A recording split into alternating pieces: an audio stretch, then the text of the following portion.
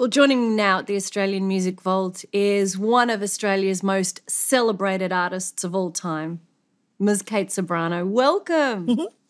I was actually watching someone um, in a movie yesterday receiving their opening and sitting and grimacing as the person was saying, Ladies and gentlemen, would you please welcome to the stage? Uh, blah, blah, blah, blah, blah, and blah, blah, blah. And I actually do think that's probably the thing I least like is the announcement before entering stage. You grimace? Yeah, I do. A part of me feels like it gives me too much to live up to. In, in as much as how much time I've spent doing what I do. It is a shopping list, Kate. It is, but it shouldn't be one that's that's like dealt with very literally because unlike any other industry in arts, one would expect to have a bit of a run up at what we do, right? But we don't. Mm. So you sort of got to bluff and make it up as you go along. And you're going to do some shit stuff and you're going to do some excellent stuff. And you're going to make some, especially in this country, in an effort to just stay working, you're inevitably going to do some tragic things that have nothing to do with music. And so when they list them all as these lauded events, you're like, yeah, no, please, no, no, no, please, no. But Kate, you say shit and tragic, but to the outsider, it's very few and far between in your career. If you last more than a decade, say you last three or four, um, there are things that you do have choices about. Like, do you do television, for instance? Do you, do you perpetuate your career in other ways that um, might give you income but don't give you that sense of integrity? You know? So when I say shit stuff, it's probably stuff that's just like, oh, you know, it'll be. There was some TV stuff I loved, like I loved Dancing with the Stars. I didn't love It Takes Two. Aha, right. There's a painting of a 17 year old you in your home in Melbourne, painted by Peter Robinson. Melbourne painter. Yes. Um, I suppose, in a sense, it's reminding you of how far you've come in your career, in a sense. True? Yeah, well, actually, the painting sat after Gypsy kind of got into like kindergarten space. Um, uh, we, it, we had it actually on show. It's, it's, it's a nude. Uh, It's a beautiful standing nude and highly realistic. And um, and she came home one day, and you know the minge is at about the five year old or maybe eight year old sort of nose level in the, in the hallway, and she said, "Mum, I, I'm good with this, but." I don't know if my other friends want to see you walking around naked. so I sort of went, okay. So we put the said nude into a um, into a storage unit and and kind of like Oscar Wilde's Dorian Gray, it it lay with its its breast to the wall. And and in some ways I sort of feel like I've kind of burdened that naked me, that young teenage me, with all the things, all the things I haven't wanted to see and do. I was sort of thinking that if I turned it around, she would have grown, you know, some chin hair and and and lost about three inches in, elasticity, which is it, it's kind of more how it is these days.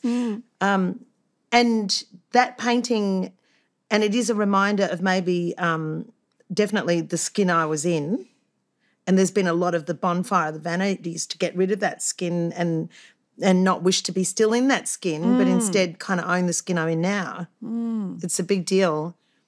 Are you having these conversations with other singers? I, I'm finding, do they describe this feeling about their self consciousness or Everyone body? has a different story. Right. I'm curious as to what 17 year old Kate Ceberano was like. Um, I would like to say that I was like, for my feeling of watching Judy Davis when she was in my brilliant career, uh, that title has nothing to do with what I'm about to say, by the way, because that sounded a bit like my brilliant career. Um, in that she was fearless and she dominated the spaces she was in as a as a kind of go to out of social anxiety.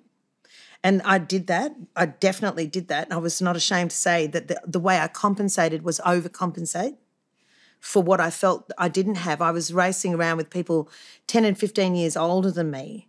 And a lot of them had already had degrees in literature and art and you know, they weren't they weren't dumb bums. I mean, I'm talking, for instance, they all of them were all graduates in some degree of arts, and I was a school dropout, so I had a lot to prove. And the way I compensated was with um, with emotional energy. Like I could get on a stage, and I was fearless of the stage, and I could lay on the ground, I could tear my clothes off, I could cry, I could laugh, I could sing, I could dance. And there was nothing that could stop me. So there was definitely nothing wrong with what I was uh, trying to do at that time. Um, I like 17 year old self. In fact, I like myself even earlier in that because I was younger when I started. I was mostly 14, 14, 15, I was in and on the stages.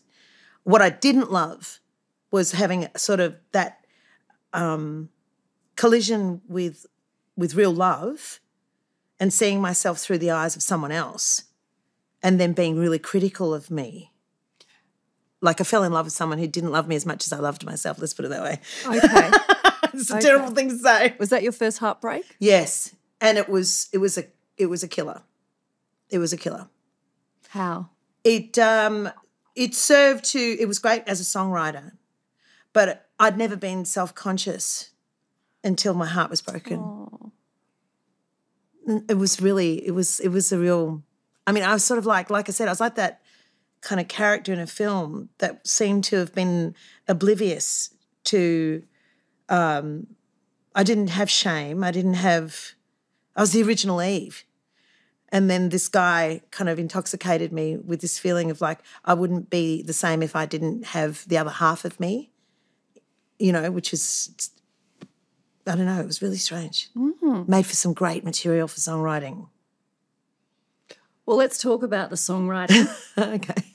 I'm going to I'm going to go all places here just because I think at 23 you write and release the song that I think has possibly become the mantra of your entire career. Yeah. Brave. Yeah.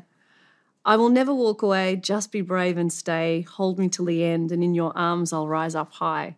Um, I still get quite teary when I hear it, especially Oh, the Melbourne Symphony Orchestra version Oh my that you God. recently re-recorded or I know. recorded. There's released. something painfully true about that that the the musical arrangement of that. Um I am so um how do I describe it? Well, first of all, let's just talk about Roscoe James Irwin for a second. So that's that's the most current arrangement you're talking about. correct. So Roscoe works with the Bamboos and Cat Empire, and and and he's in the field of dreams. Like he he basically offers without um, interface. He's like this incredible genius who says, "What do you want for lunch?" I said, "I'd I'd like to have um, you know Love Actually for lunch. I would like to have Joni Mitchell's Both Sides Now for afternoon tea, and I'd like to be Shirley MacLaine in Sweet Charity for a late night supper." somewhere preferably romantic, you know. And he says, Yeah, no worries. And out comes the quill, and there he goes. And then, like this beautiful, he delivered me a sonic landscape, and the song became probably what I always hoped I could live into. The time that I wrote the song, it seemed a bit glib because I was sort of merely responding to um, a criticism that I'd had by an A&R guy in the studio. And he was like um, a very famous A&R guy who'd actually he'd actually discovered the Rolling Stones in in in London. So he he was very important, and he'd been brought in by the label to help me shape an album, and and he was he was confused. He didn't understand with the material. I was I was. I I was confused. I was I was confused. You know, You I was were a- young. a fart in a bottle. I mm. didn't know anything about anything, and he was scratching his ass and was going, you know, oh, this is like, this is like, this is, this is like, I don't understand. This is not the way we make hit records. This is what he'd say. He'd say it over and over. This is not the way we make. I'm like, oh, what the fuck would I know about making a hit record? I'm like seven, you know, 18, whatever I was. So um, I just left him in there discussing hit records. And I went into a room like this, which was an ante room that was where a piano was seated just there. And I went through the only three chords I, I knew and, and sort of half pilfered off Kate Bush's Man with the Child in His Eyes.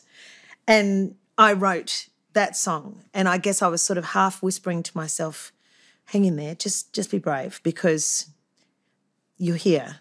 So you may as well start something. And then my brother Phil came in. My brother Phil's always been there at that at that very critical place when I'd lost confidence. And he's like, come on, Cac, you know, and strumming along there. I mean, honestly, it's a beautiful piece. Um, and so now to hear it through, well, a guy that wasn't even born when that was recorded, Mm. to have his litera- you know, alliteration of it, and it's so remote from me as an experience mm. that I can walk in and feel like I'm inhabiting a place that I was always going to grow up to become and always going to grow up to step into, but had mm. to wait 40 years to do it. Wow. Can you imagine? Wow. It's sick. It's the most amazing feeling that when it's happening in on the stage and my daughter's standing next to me and she's singing with me as well, mm. I don't know. It's suddenly, I get goosebumps all up and down my, my whole body when I think about it. Wow. It's intense. Oh.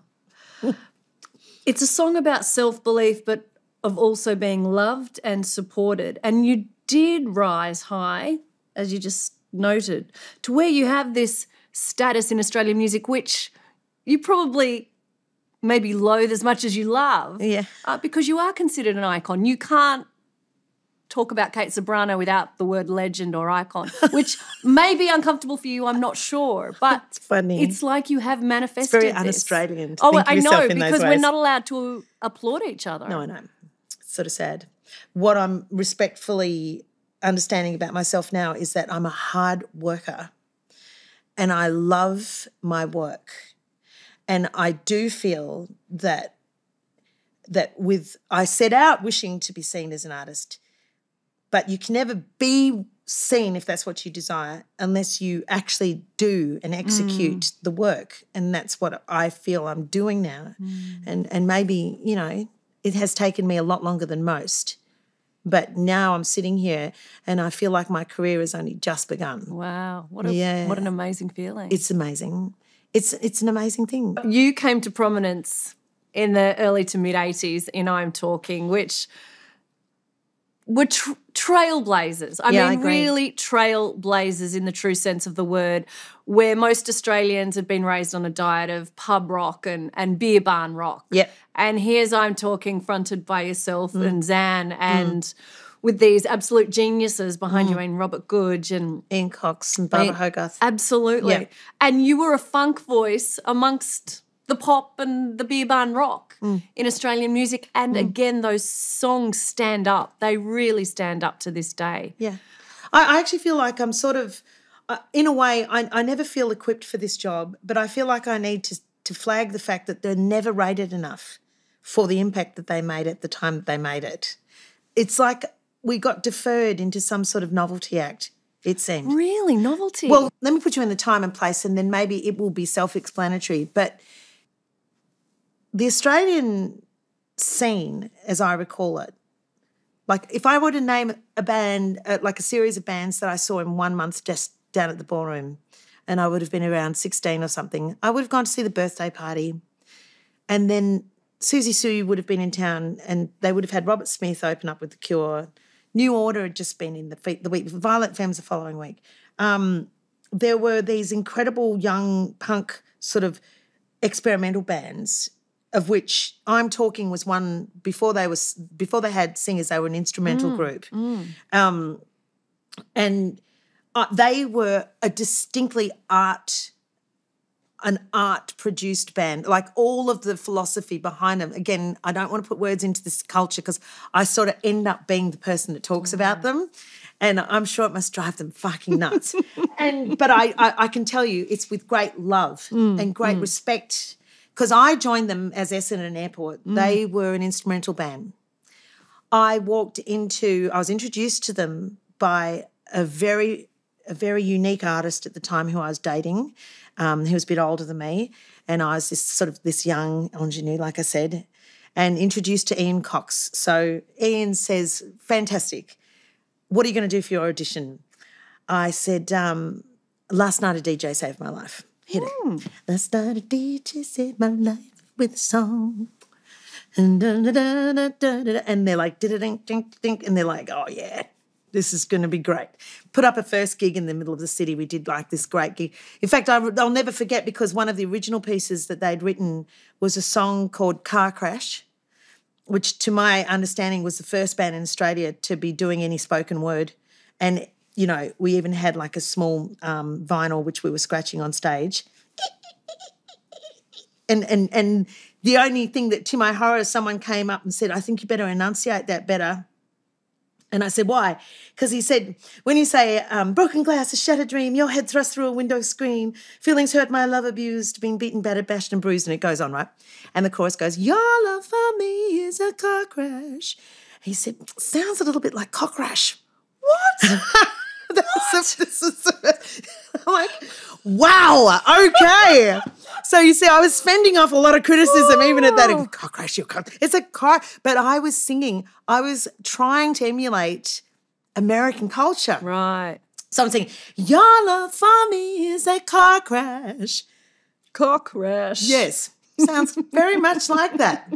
I understood.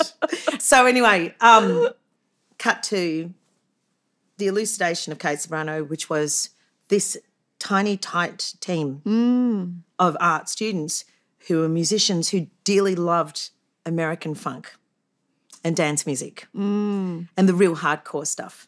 Cameo, we did, you know, we loved all of that, Chaka Khan and and and mostly chic. And so by the time Zan came, we were pretty exciting, double fronted band, lots of energy, lots of sex appeal, lots of sweat and funk. Barbara Hogarth on the bass was like, to me, she was like a, a Godard pinup. There was so much to love about I'm so much to love about I'm Talking. Yeah. And still, still. And still there is. Yeah. In fact, we went out on tour with Bryan Ferry. We opened up for, with Bryan Ferry.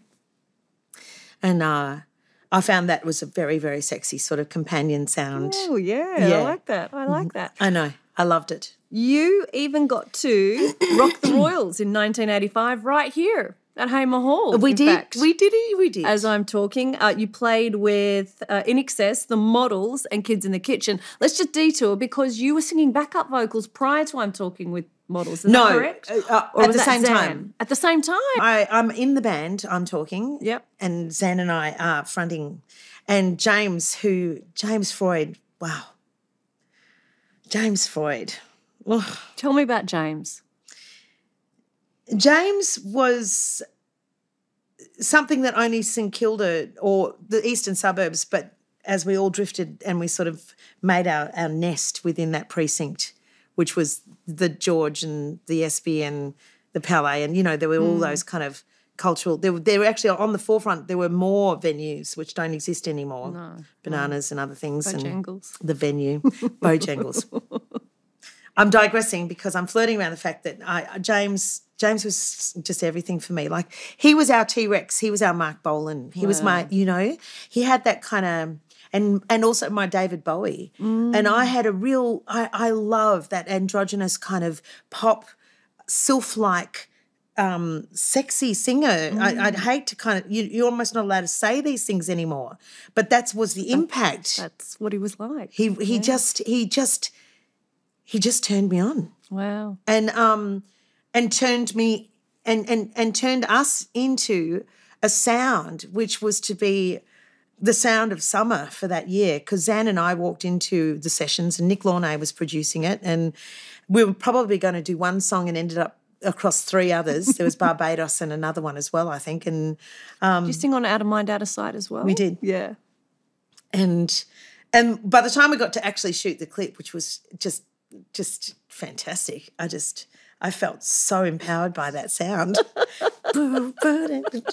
just flicking all my hair around and mm. so great So, rocking the Royals. You chose local designer Christopher Graff. In fact, it's here at the Australian Music Vault. The the yeah no it's so strange it's it's, it's so eighties, isn't it? i know i know The it hat is. and the shoulder yeah pads. yeah yeah What did you say to Prince Charles then? Now King Charles. I, I said I look like your mother. Had to have some ostrich feathers because God, you know, I, I've never feared. I've never feared fashion. I loved it. I mean, you know, it's such a drag that um, I don't. I didn't grow up, and I. I don't know. I would love to have been six inches taller and maybe 20 kilos lighter for most of my life, if only to just be able to wear sample sizes of all my best friends' garments. because I had some incredible designer friends who just, you know, but they, but for the sheer pu- purpose of showing great designs, often you just need to be sort of long and lean. and I would have loved that, but no. During the I'm Talking days, a man by the name of Ken West, God rest his soul, Yeah. managed you. Now, Ken West would rise to prominence as the co founder of The Big Day Out and really make his mark there. Yeah. And Vivian Lee was a big deal with And Vivian as well. Lee's as well. Um, I lived with Ken and his wife in many houses together, share houses together. We were really deep friends. I think you were the one of the first artists he started managing. Yeah. Uh, so take me back to that time. I mean, it was probably his, one of his first gigs. I mean, was that how was that relationship? I loved Ken. Ken was the most optimistic man I've ever known, and and he and Vivian actually were a great sort of like a, um, a dichotomy, in fact, because you know Vivian was sort of pressured and laboured by like all of the minutiae of you know, but yeah, you can't, but yes, you can't, but no, no, no, but how could we and how could we? And Ken was Ken was like a dog that was like you know perennially happy and the tail is wagging and there was nothing that was ever going to rain on his parade and and and that's why I knew that he was the guy for me because we mm. were always like that we didn't ever indulge ourselves with how it wouldn't happen. It was only ever how it could happen, and and um, we loved each other. We he loved he loved what I was doing because I was also into jazz. So, and when I say I was into jazz, I was into the cinematic elements of jazz. I was the, the girl that draped herself over a piano. I was scouring op shops for all those incredible garments and you know and and and sewing and hats and and small short gloves and I mean I I really saw an era or maybe I just felt like I if I'd been born before I was from somewhere else, you know. I just mm. I just wanted that space. And Ken's wife at the time was very different to me because she was the Ann-Margret kind of version of the 50s. Right. And she had this huge pompadour well before Amy Winehouse. Like, you know, Mandy Mandy was was just well, she was like Marge Simpson, really. and she, she kind of lived like that, smoke like that, and talk like that. And, and so the two of them were like my Ma and Pa Kettle. Like I just looked to them for all my leads. Um, yeah, and I guess I was just the baby Simpson, you know. Until I kind of grew up, you know, and and he was he was the greatest greatest company to have as I was I was being raised as a as a baby diva. and then he went on to, of course, to become impresario to all things great in rock and roll. Change popular culture and the way we imbibe live music in this country Yes, through the did. big day out. I mean, Absolutely. I mean, yeah. the- he and Vivian, well, you know, we needed we needed to find our sort of our we needed to find our identity in that festival culture for Shizzle. Like we mm, needed it. Mm. We hadn't had anything like that. Australian Made was sort of bought for you and through Chris, who was manager of, Michael and INXS and and all of all of the rest of the the rock crew. But um, I think Vivian and Ken were always looking to London more than America. For uh, we got a lot of American, obviously American artists, but I felt well they used to bring out Violent Femmes, New Order, and all that mob. So we were well into that British post punk sort of thought pattern. And and then they brought that to Australia, and then it just you know it just Well, went speaking of. London, London's integral to your career for two reasons. Number one, you meet Malcolm McLaren when you're a teenager. yeah, You loved all that Vivienne Westwood, the sex shop. You loved Adam and the Ants. I did. Bow Wow Wow. Tell me about meeting someone as incredible as Malcolm McLaren. Well, the call came to to Ken at the time and said we we I I, I would like her to come to London, and so first class. Malcolm McLaren says, I want, would like her to come to Yeah, London. because I was being feted by a lot of record labels at that age. So 16, 17, you know, Madonna had just hit. And so, I mean, at the start of I'm Talking's career, we had many record labels coming and lawyers flying in from New York and London to, to sign us up with a view to kind of breaking us internationally, which would have been insane. And they and they they very much tried, but it was it was quite a task. Right. I, and, and I won't even I can't even describe that experience. You might have to get Rob Goodge in here. Um, but it, in amongst somewhere there, Malcolm McLaren was going to make this album, and he was doing it for Madame Butterfly, and and there was this mm. whole kind of classicism. It was before that hooked on classics thing kind of destroyed the concept of his Or Jive Hi- Bunny. you, yeah, you got it. But because he had, you know, he was he's the auteur of Buffalo Girls, which was mm. awesome. Mm.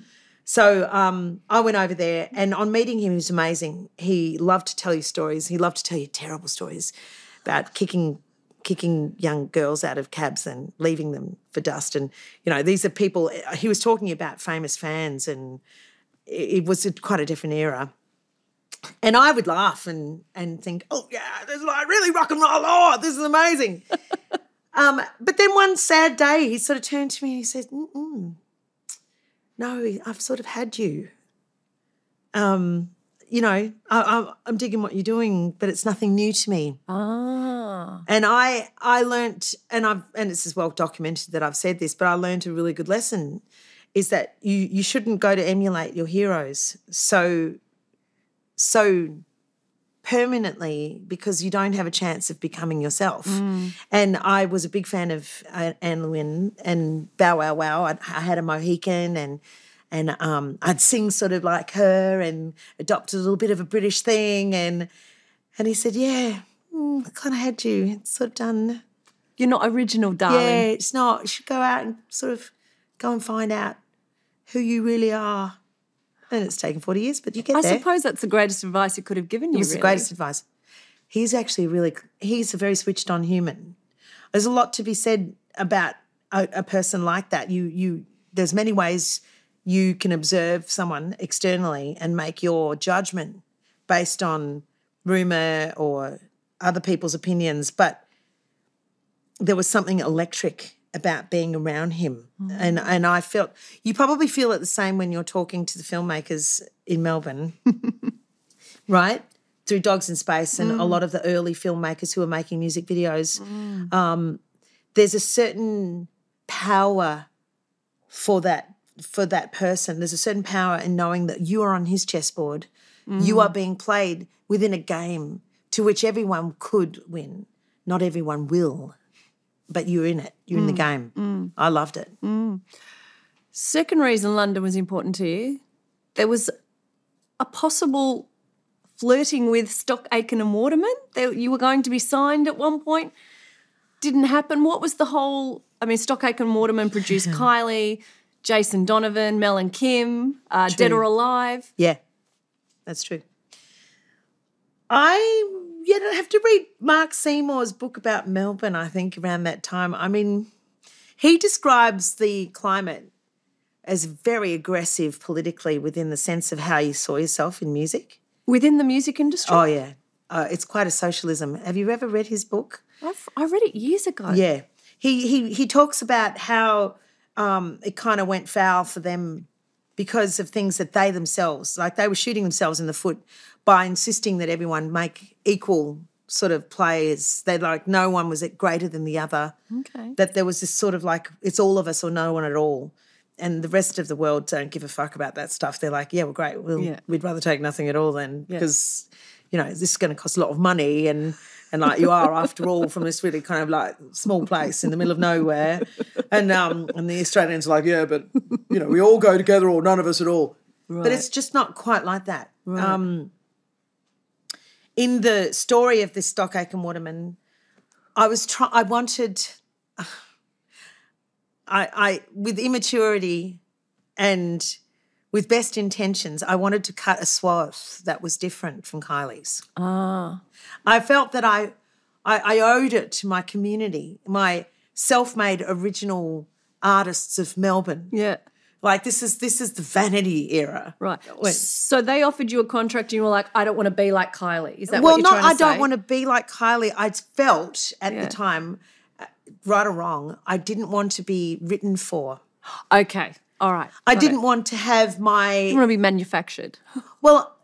See now, this is No, where no, we- but that's that's, That's- what that- the, that's, that's what Stock. Aitken and Waterman represented. at that- manufactured at pop that stars at time, that point. At yeah. that time, Yeah. And you know, respectfully now, you look at Kylie. Well, her career is her own because she's an individual and she's an incredible artist, and and she's matured within it, and she's she's taken it and poured petrol Mm, on what was a mm. very great idea, and now it's a bonfire.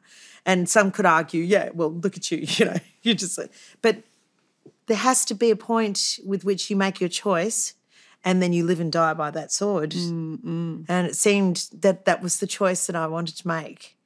And I have really no regrets for having done it. I wonder what Kate Ceberano signed to Stock Aitken and Waterman would have sound like. Probably, Probably very like- squeaky pop. Well, I actually think, I believe that Mel and Kim were meant to be Zan and I. Is that right? That's just my. Okay, I'm just no. putting it out there. Yeah. I mean, PWL were great. So they Yeah. were annex. They were like a sort of a DJ kind of community, and they're very, very supportive. Still to this day, actually, of some stuff that I was working with and on. And I actually had a top ten hit with Young Boys Are My Weakness through PWL, which was awesome. And um, and now it's kind of gone into that wonderful novelty sense. I'm not going to go to jail for it anymore, which is great. I had a few cracks at the apple. Like I went and worked with Frankie Knuckles in New York and, and Arthur Baker. Like I have actually been a bit of a Billie Holiday in my life. I've been in the service entry and out the back of some great, really great communities, great communities of artists. I've I've actually been recording um, at Sarm Studios where Trevor Horn had just been recording. You know, all Where they recorded Band Aid, do they know it's Christmas? you got it. And so all of my life, I've been around the peripherals of greatness, and I have actually been able to see and watch the process. And as as a student in my in my life, um, I have really loved this long and deep internship I've been having. wow. Yeah. Wow. Tell me about Michael Hutchence. You write about him in your book. Yeah. There's a great story about him coming to your patio in the the hotel room, and your mother was freaking out just a little bit. Oh God, no! She was encouraging me. She's no, she's quite contrary. she was shameless. Oh, so she wanted you. She was oh yeah, encouraging- no, no, no. right. I mean, my mother, very young mother, and and a manager, actually one of the first women in management in this country. She got my album to triple platinum, and she, in fact, she got Nick Launay.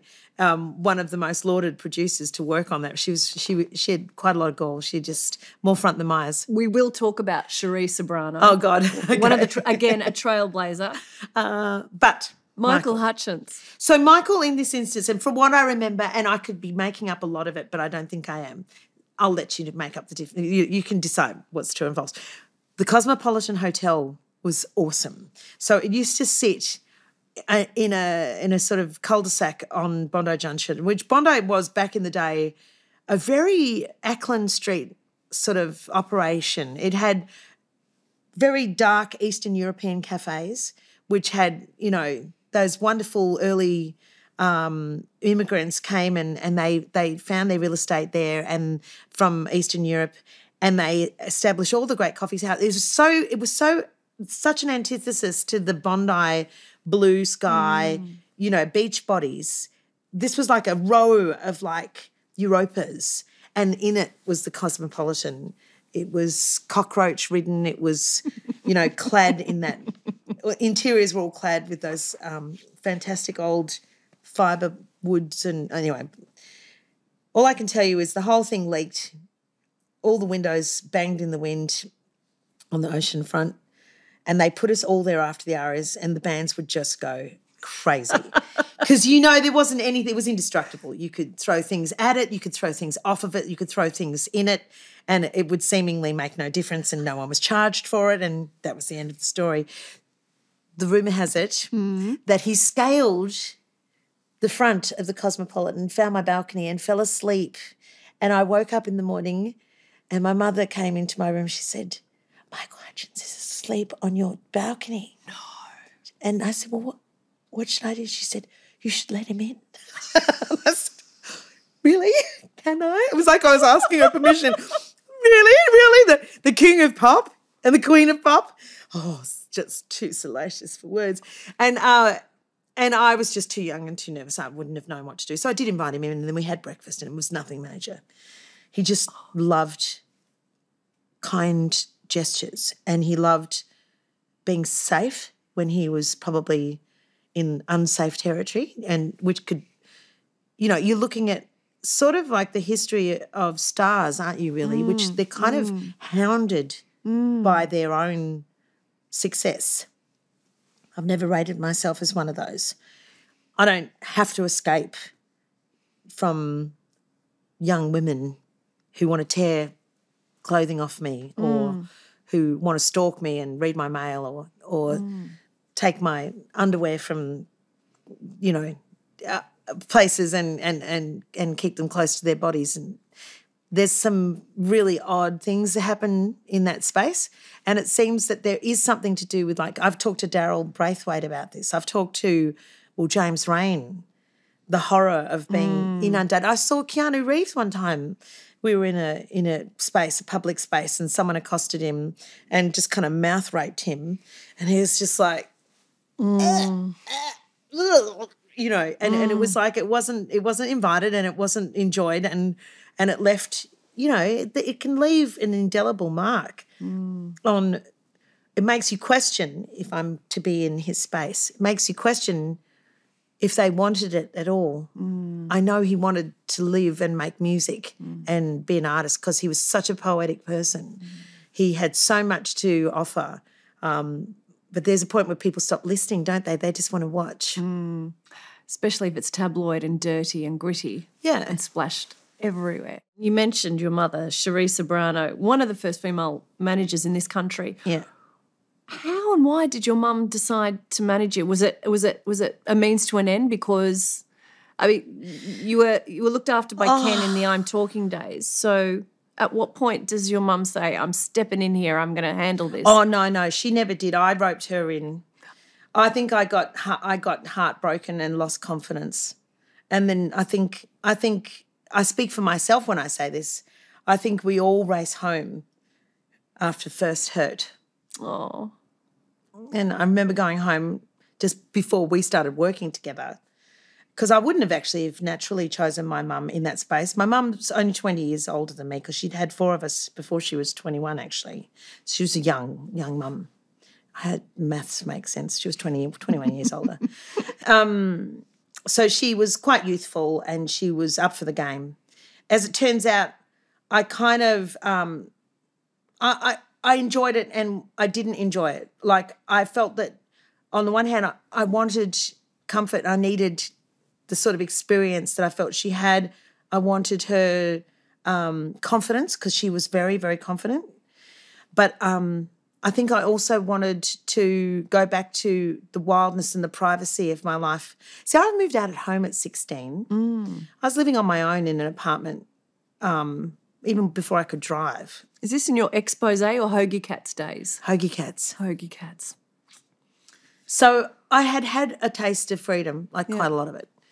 and uh, as I said, heartache will really, heartache will challenge the first massive one. It stopped me. I, I hadn't been stopped up until then.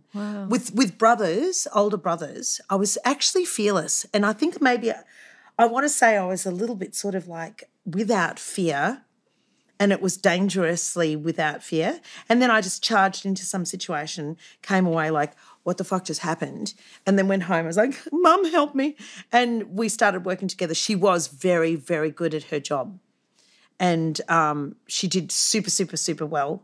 And then I fell in love again. And then we started working together and it became a whole different scene. And she said, Look, you just get amongst it and get into your life now. They say success is the best revenge. Was the first heartbreak guy able to, you know, were you able to go, suck shit? Well, my songs, you know, you hope that certain songs are more famous because then they're going to be like that kind of resounding, yes, in my dust, motherfucker. but uh, you can't always you can't always guess which songs are going to be most famous. Right. Like Brave is very lovely and it's kind of coming from a good place. But I wanted that real I wanted the one that said, I'm going to be better off without you. My life is better and I hope you will. No, It's not going to happen that way. But then there was succession of, of heartaches actually, Right. which only served to give you uh, they just give you a whole different sense of yourself. Your recovery tells you more about who you are, I think, than anything else. And I do have the power to recover. It's not what happens to you, it's how you handle it, how you recover, how you bounce back. In the end, it is. Actually, my husband and I, we get along really well. We've been together for a couple of decades now. And the reason why we get along so well is we are so very universal and independent from each other that we can we we can collide and have a mutual agreement about something, but we can also be very, very at, at opposite ends and still be in harmony with each other. And that's, you don't have that often with a lot of people. Mm-hmm. In the 90s, you star in a movie, well, cameo, a, sm- a small movie made by your husband Lee called Dust Off the Wings. Yes. Tell us about this piece of cinema. Cinema gold. ah.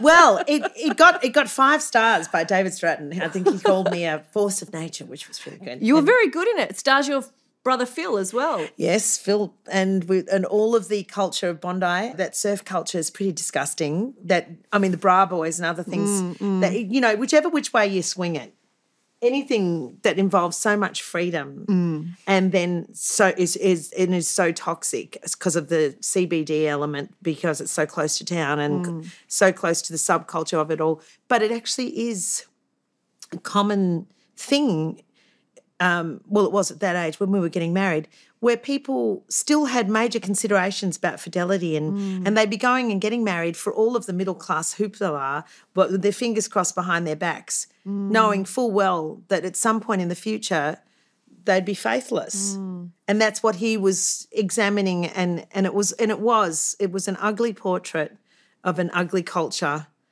but it's still an epic film. And the and the sad thing about it um, well, not the sad thing about it is that it's taken 18 years, but we finally showed our daughter. um, and we sat there the other day, and there was like this sort of like this. You, you've got like, you know, all the mates sitting on the couch. They're like, ooh, oh, ooh, and of course it's it's quite benign to them now. Yeah. yeah. Like we've hidden it almost like, as I said, this hidden, un, unexposed sort of part of our early culture. And she's like, oh, that's really funny. It's really funny. It could do with a bit of editing. it's gross and it's great. But Something that wasn't gross, however, on film. You actually got to act alongside David Wenham. Oh, yes. Great David Wenham. In a beautiful story, film, classic called uh, Molokai, the story of Father Damien. Right. You get to sing in it as well. Um, Yeah. How did that come about? It. I mean, you're not in it for long, but it's a beautiful. Like you look incredible. Uh, where was it shot? First off, Well, first of all, I'll put you into context for Melbourne filmmaking, Australian filmmaking. Paul Cox, a very famed Dutch filmmaker, um, comes to Australia and, and he and he and his cinematographer make some pretty stunning movies. Paul Grabowsky does all the soundtracks for his movies. They're kind of like a community. Right. And uh, Paul and I had worked together on doing some soundtracks for some other films. And it just so happened that they were making a movie about Hawaii. Now, my father's from Hawaii. I had been there and had a lot of indoctrination of the early culture and the politics of the Hawaiian culture. Um, I play the, the last reigning queen of Hawaii, the true queen. Her name was Liliuokalani. And she very sadly had her country annexed from her to become a 50th state of America. So she was put into her palace for the rest of her life at the age of 30 and sort of was imprisoned within her palace actually for no reason other than that they had made a decision that it was going to be a 50th state and it was crazy. So her campaign and this is why the singing and me made sense. Her campaign and the only way she could um, offer her uh, people a sense of independence was she would write songs for them wow. and send songs out to them from the palace. And she wrote a song, Aloha Oe, which is in featured in the film. Cut to, Paul calls me and says, Would you like to do this movie? I said, Does a cat have a bum? Absolutely, I would love to do that movie. Um, do I need to come and audition? And I did. And uh, and Paul working with Paul Cox was really, you know, it was like working with Ingmar Bergman or some one of the some someone who was very important. And then he added David Wenham, remarkable actor. Sir Derek Jacobi was in it. Kris Kristofferson was there. He was in it. Um, I mean, there's a list, there's a cast of many. And the most profound thing that I had to do was I had to audition for the Hawaiians for them to accept me as their queen. Wow. So I flew into this small island, and for those of you who don't know the movie, it was about a leper colony that had been bounty hunted and placed to die on a very remote spit of an island called Molokai. They put me all in gear, and I'm wearing garments, 100 year old garments or more. And then I came out into a small tent, and there's probably about, I want to say, 80 of the cast members who are some of the heaviest musicians in Hawaii.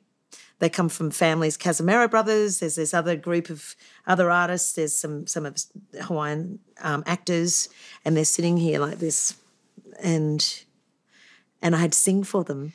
So I, I've just got off a plane. I'm in this garment. I'm like, uh, and and I gave them my heart and soul, and really at the end they just went, yeah, okay, and then we shot the scene and I had to go straight from there, straight onto the balcony and deliver that piece I told you that Lily Liliuokalani wrote for her people, which was in Hawaiian. And I had to sing Aloha Oe. So, needless to say, I was pretty undone. And I'm not an actor, and I, I wouldn't have been able to have faked it if I I didn't feel it because I just didn't. I don't have that technique. I don't have any of that training.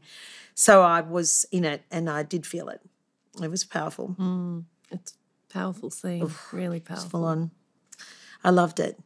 I would act again. Oh, you're playing the uh, virtuous virgin Mary Magdalene. Oh no, no, she was no virgin. Oh, I'm sorry. No, two things sorry. that people misunderstand about the. Uh, but the she was a virgin when she had Jesus. We're supposed to. No, believe. I'm not. I wasn't Jesus' mother. You I, weren't Jesus' no, no, mother. No, okay, and I love clarifying this for people. Okay, thanks. Clarify because, it for me. Well, and even because because sometimes some religious people um, are confused okay. when they consider that. So there's Mary so, and there's Mary Magdalene. Okay, Mary right? Magdalene was a prostitute. Okay. Good. I had that okay. down. I so so I had that. No worries. Uh, that's method acting. Right. I, I didn't have to be concerned. I you know, it's like it's before babe. Um, and so so the the problem, and this was Tim Rice. Okay, so Tim okay. Rice. Let's let's just give Tim Rice a Guernsey. Sure, sure. Because he comes from the school um, of those really clever um, academics, of which John Cleese and all the Monty Monty Python, very clever. You know, they very they clever. they all came out of those colleges where they'd sit around and they would just chew on the bone of contemporary culture, mm. including religion, philosophy, and other things. Tim Rice did something sort of like uncharacteristically sober, and he wrote a version of the Bible, but he made Jesus human mm. with foibles mm. and made him question why was he put in that position under such an enormous amount to to to to anyway and then if you so um, I don't want to read too much because we all know it's just a rock and roll concert, mm. but it, its premise is geared in such a, an endemic way into the the psyche of of cultures and how they, you know, but it is actually a very it's a very, very common story that you have someone who has a certain charismatic charm and can influence others by the sheer force of his enthusiasm or optimism. He's loved by someone who just simply wants to care for him and keep him safe, which happens to be a prostitute. His best friend is a person who wishes him to not sacrifice himself in this way and make these large claims, which he can't actually prove. So you've got this classic story, it's a contemporary story of which we have today, mm. where people are wanting proof mm. and others simply want faith. And stuck in between somewhere is this happy little prostitute, which happens to be me, who's saying, steady on you two, there's a way we can work this out. And and this was the this was his proposition. So um, I, I, saw the play. I saw Marcia Hines playing Mary Magdalene. Uh-huh. Uh, I saw um, the film and I saw a beautiful Hawaiian singer, Yvonne Elliman. And do you know the thing that I saw that was common amongst us all? We were all of colour. We were all of multi race, of multi faith. We were, in fact, what I consider to be the face of the international person today. Mm-hmm. And um, and I suppose we were the bridge over troubled water. And that's what Mary was for me. I loved the play. I loved the play. I loved the questions. I loved that the questions were never answered. And I loved the war between um, good and evil, if you will. And they were played really well by John Farnham and Jon Stevens. John Farnham and Jon Stevens. I mean, uh, does it get better than that? I mean, It's like an it's like the white wolf and the Alsatian going at each. It was honestly, and John Farnham like. You just have to go back. I just posted a picture actually of a picture I just found. It was a dress rehearsal, and John would sing and look into my face each and every night for over 100 shows with such sincerity that it was disarming wow, because I believe he loved me every night wow. he just gave me so much gravitas as a human. And and and I'd reach out for him, you know, and I'd touch him and he'd, you know, oh God, just the thought of it, just and you know, we're looking at a man now who's lived the greater part of his life pretending to be happier than he was because he had some inordinate obstacles to have to go for, to overcome. Um, and that shining face and great expectation. And so I just wish him peace and comfort now. I hope he's happy and comfortable. He just, no one needs him to be anything anymore. I just love him so much. You've performed with other greats. Uh, there's Frank Sinatra at Yeah. Sanctuary Cove. There's Whitney Houston, Peter Allen. Peter Allen was a boss. Tell me about Peter Allen. Peter Allen, honestly, he shared his piano stool. My brother and I were just sitting on either side. He and Alice Cooper? Two very similar humans. You're telling me they're similar? Yeah. I tell you, they are. They are the same person. How? because I can, t- I- and this is just my theory, okay? I don't reckon either of them thought of themselves as being particularly attractive men. Right. And so they were singing for a sort of like a, a sort of like a subculture of someone who often came from their rooms, quite introverted, but loved music and wanted to sing and found themselves on the stage irresistibly performing this person that they had created, right? I just, I totally feel like Peter Allen had a mask and Alice has of had one as well. yeah. And the two of them, you couldn't find more lovelier humans if you tried. Like, I have no words. Peter Allen sat there and he said, Hi, and what's your name? He says to Phil, You're gorgeous. And this is your gorgeous, is this your sister? Oh, gorgeous. And the two of us would sit there. I was on the seat and and Phil overhang and he's sitting there and and he was talking us through tenor, Tenterfield Saddler. He's telling us as if he was telling, you know, it was as quiet and as and as intimate as if there were like, you know, several thousand people that he was going to tell the story to later that night. And Alice was exactly the same. Mm. Met in a plane. Phil and I happened to be there together again. We were in economy, he was in business. We both kind of accosted him over the way and said, Oh, Mr. Cooper, Mr. Cooper, we're so, so great. And he goes, he turned around and he goes, Kate, you know, it's amazing. I was just talking about you on radio this morning. Stop it. No. Phil said that. He's like, What? You were talking about my sister. What do you mean you were talking about her? And he said, No, he said, Yeah. He said, Exactly. I was saying, if there was ever a singer that should take on Janis Ian's whole repertoire, it's Kate Ceberano. And I'm like, shit. Well, if it's the last thing I do in my lifetime is I do a retrospective on Janis Ian. you have That's to now. I- well, surely. Alice. It's been told. It's happened. It's just now I just have to f- park my bike somewhere in there and just get it on the mic and just fucking do it. Oh my Alice God. has said so That- because Alice told me to. Um, you don't need any other reason. Listen, what with Peter on one end of me, Alice on the other end of me, I'm, I'm having the time of my life. Was Whitney? I didn't get to meet Whitney. I, I, I, as much as I would have loved to have met Whitney, there was so much I would have done. I would have held her mm. if I'd met her. Mm. I would have held her and told her how, how amazing she is and was. And I'm sad that she didn't. It's like there have been some people who've passed in ways that were inglorious. Mm. It's an inglorious way to go. Yeah. Um, what about the World Music Awards with Prince, Sting, and Grace Jones? Did Okay. you Highlight of my life. really? There was an ad for Christian Dior's. Um, what's the perfume that smells like roses? Can't remember. Whatever it was. You weren't born, actually. um, but what it was, the opening sequence was this a bit like a Wes Montgomery film where it's on the Côte d'Azur and it's a large um, hotel with all the balconies and at different turn opportunity models open They up open up the yeah, balcony. Yeah, I think Okay. I have seen it. Yeah.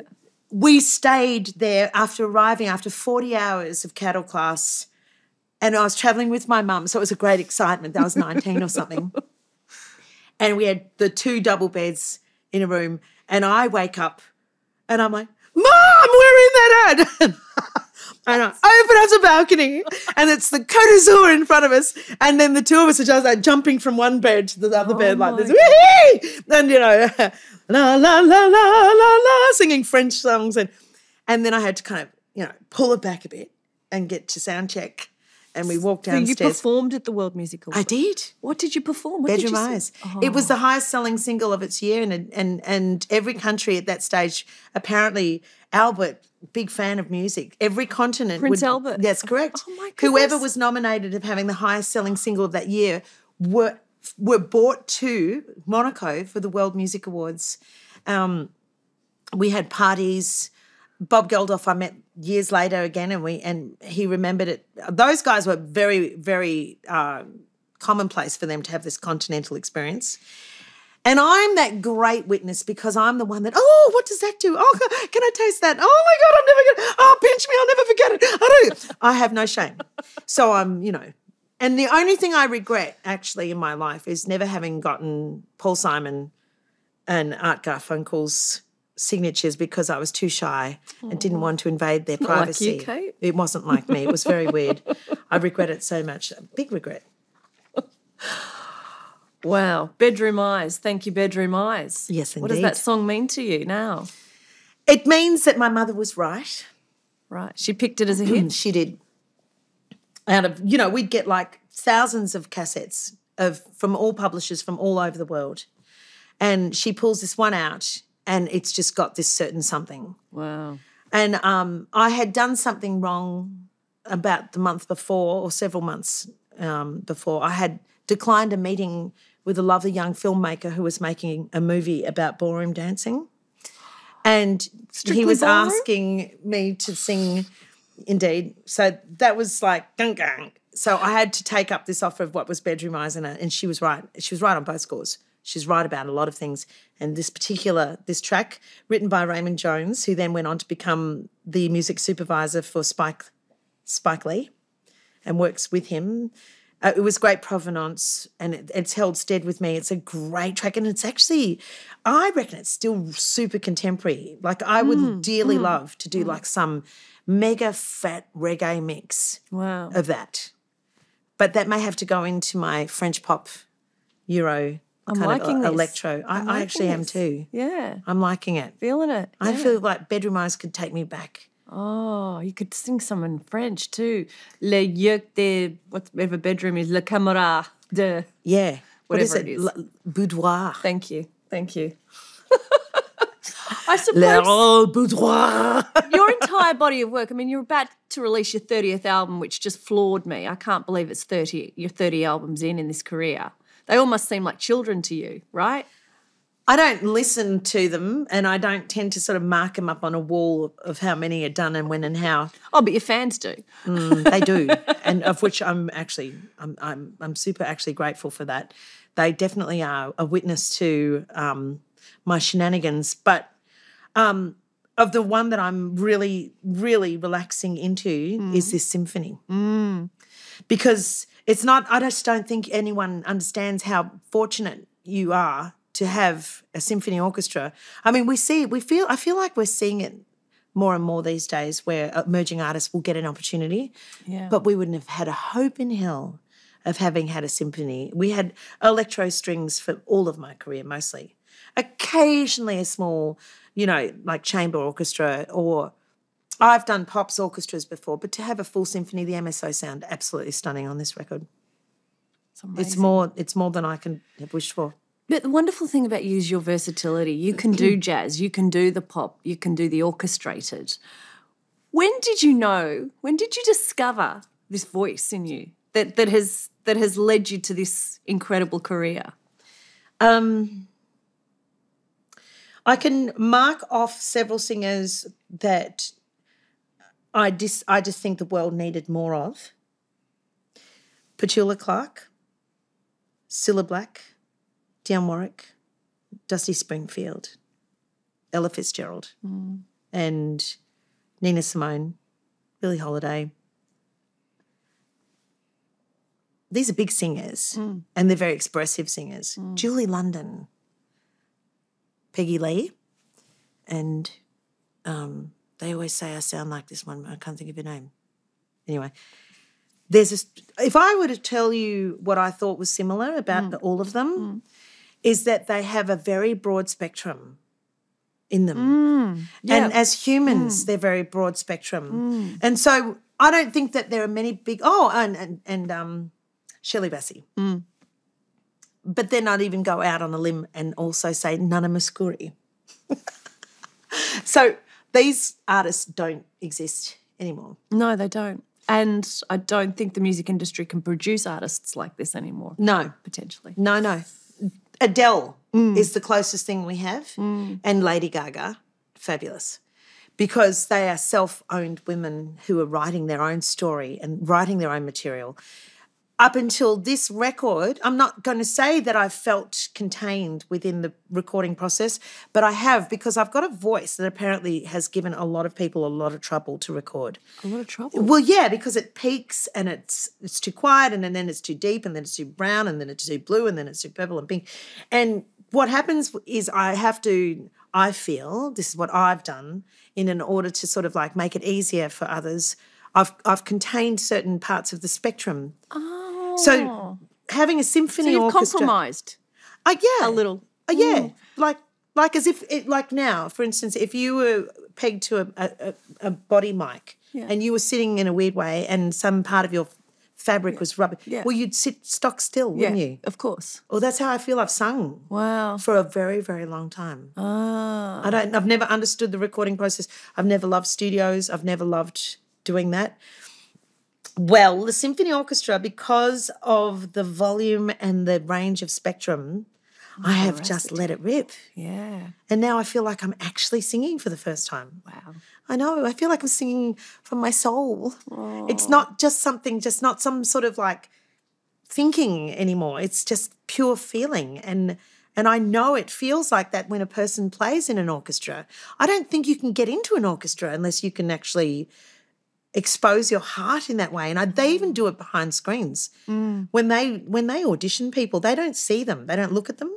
They put them behind a screen and they have a multitude of different people come along and they have to play the same piece. And the the viewer, the listener will will choose the one that has the broadest spectrum and moved them on an emotional level the most, and that's the person who gets the gig. Goodness me. Did you no know that? I had no idea. Yeah, I know it's kind of intense. Maybe we should do that with pop stars. we Kind of do it on The Masked Singer, don't well, they? we do, don't we? We do. And The Voice. Yeah, we do mm, too. We, mm. well, yeah, to a greater or lesser degree, we do. Yes. Yeah. yeah. Kate Ceberano, when I think of you, the words indefatigable and tireless spring to mind. I love those words. They're my favourite. I use them a lot. You seem to have this optimism and positivity and joy. It's almost like an ever ready battery. it really is because I don't think I've ever seen you on an off day. I'm sure you have them, but I've never seen them. Or, you know, the industry sees you as just this wonderful, radiant, positive being. Where does that come from? And how has it lasted so long?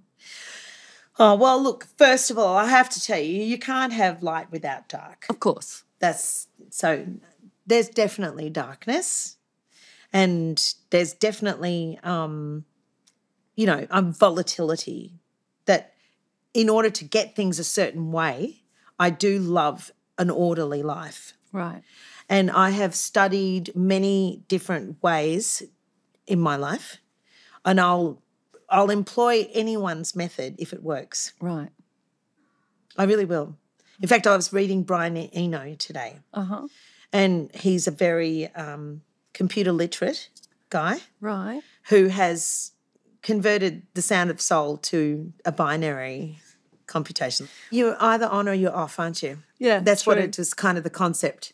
Yeah. Okay, so all I'm saying is I will say that when I need to be on, Yeah. then I better be fucking educated in what I, I'm going to need Uh huh. when I'm on to sustain it.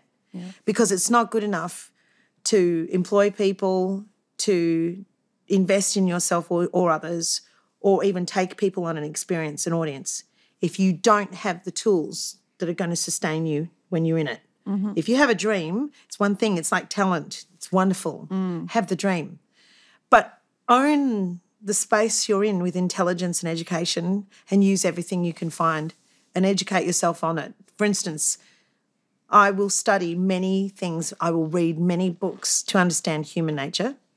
But in the end, it's just are you on or are you off? That's what it is for me.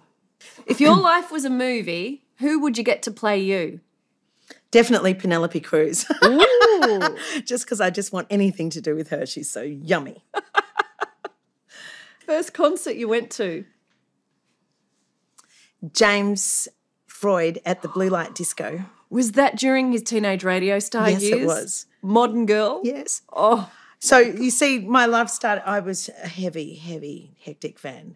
I stood there. Actually, I think I was catatonic with with love, joy, about literally about two feet away from his beautiful face. oh, I see, ah, I fell in love. You know, it's still a brilliant song to this Oh, day. I agree. Yeah. Ah. How did you hear about his passing? I think it might have been his family who Ah. contacted me. Oh, um, I couldn't believe actually how well the family had been prepped by him. You know, he is a rock and roll suicide, rather mm. die young than die ugly. Die, mm. old, you know, mm. something. But that family are very stoic. They are amazing. mm, bless. Yeah. What's your favourite word? It's a phrase, actually. Can that count? Yeah. I have a little bit of good news. That's the phrase. a little bit of good news. Oh. Yeah. What was the best piece of advice you've ever been given? Actually, the best advice I was ever given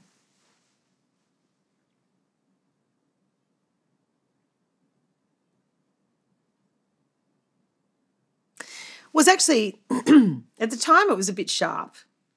It was Vince Jones. He said, You will never amount to anything, Kate Ceberano, because you lack discipline. And he said it after I fell off a piano, um, after really lovingly fell off a piano after a few drinks, and I was singing rather vigorously and and laughed and rolled off a piano, and I was having the best time of my life. But I was only about sixteen, and I guess I could feel what he was saying was that I, I actually honour something within you, but you're not going to make it.